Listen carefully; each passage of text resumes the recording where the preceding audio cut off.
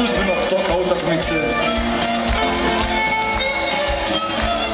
Apokalipsa lagano kreće prema svom kraju, a ja ću predstaviti članove ovog divnog, novog i starog ansambla.